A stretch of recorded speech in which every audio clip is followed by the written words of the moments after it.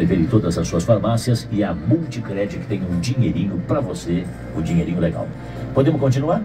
Podemos continuar. Então agora vamos prestar uma homenagem àqueles que gostam do Ed Mota, Que Bom Voltar. Vamos tocar duas, o, o, o Marquinhos. Vamos tocar duas porque assim eu vou me preparando aqui. Vamos tocar então o Ed Mota e vamos tocar o Roberto Carlos.